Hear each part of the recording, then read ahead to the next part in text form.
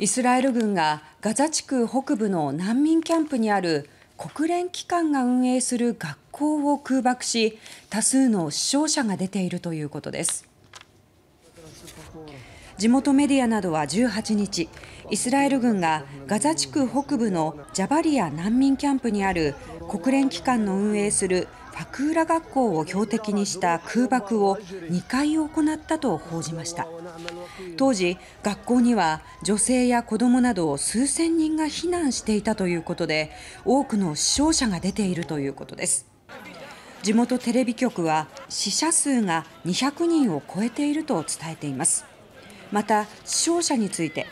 国連パレスチナ難民救済事業機関の代表は恐ろしい画像や映像を受け取っているとした上でこのような攻撃が常態化してはならないとイスラエルを非難しています。ガザ地区の保健当局は死者数が1万2000人を超えたと発表していますが通信不能などにより正確な数字は集計できていないということです。